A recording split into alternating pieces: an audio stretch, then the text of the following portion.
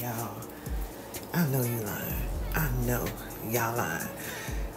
And this is just, this is just, um, what what do you say? This is just my, not just my opinion, but like we just gonna throw this out there, right? We don't know if this is the truth, but what are the odds that her, Bri, and Clownell break up, right? So now they done broke up, and of course we all know that um, LaTruth uh, has been single for ever since, right? Ever since the split.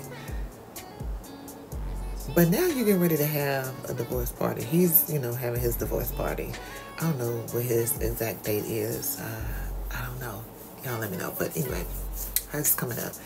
So you mean to tell me, so now you, you ain't got, like, you're not in a relationship with nobody now. He's not in a relationship with nobody now or haven't been in a relationship. Let me find out after this divorce party that y'all done linked back up. Let me find out. Let me find out. Cause I don't know. I don't know. Cause it's a lot of stuff coming out where people saying, um, you know, we don't know what's going on behind the scenes, da da da da. Was all this just for money? And these people finna be right back together. What y'all think? Let me know down in the comments. Drop your thoughts. I need to I need to see what some other people thinking. All right.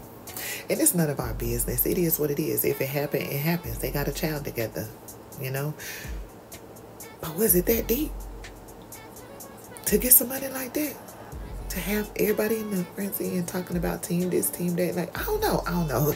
And I'm just throwing this out there. I, it can't, I, I'm not saying I'm right. I'm just saying it's a little suspicious. A little sus. A little sus. Anyway, what are y'all thoughts? Let me know. Drop down in the comments. All right. Don't forget to hit that like button and hit that notification bell when you on your way out. All right. Peace.